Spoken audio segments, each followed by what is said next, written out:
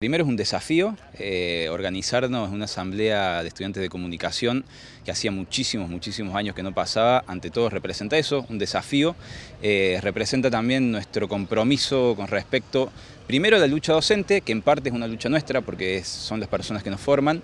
y segundo con la educación pública en general, ¿no? Justamente hoy estuvimos debatiendo eso, cómo hace la asamblea, cómo hacen los docentes, cómo hace toda la comunidad universitaria para organizarse frente a un conflicto que excede por ahí el, salario docente. ¿no? En marzo a las universidades les recortaron 4 mil millones de pesos, eso fue un conflicto que nos pasó por encima, por ejemplo, Río Cuarto se quedó sin 16 aulas. Eh, entonces, ¿cómo hacemos para organizarnos frente a ese desfinanciamiento que por ahí excede el arreglo que puedan llegar o no aún los docentes? En este momento nos estamos organizando como, como estudiantes con el objetivo de apoyar la lucha docente porque creemos que este, son los formadores del futuro del país. Eh, los necesitamos en todos los ámbitos de, nuestra vida, digo, desde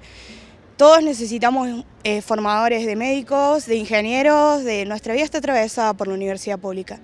Es un derecho y es una necesidad de la sociedad que no se puede obviar. Em, y en cuanto al desfinanciamiento, yo creo que nos afecta a todos los estudiantes, no solamente por una cuestión edilicia, no solamente por la cuestión, qué sé yo, la construcción de aulas y demás,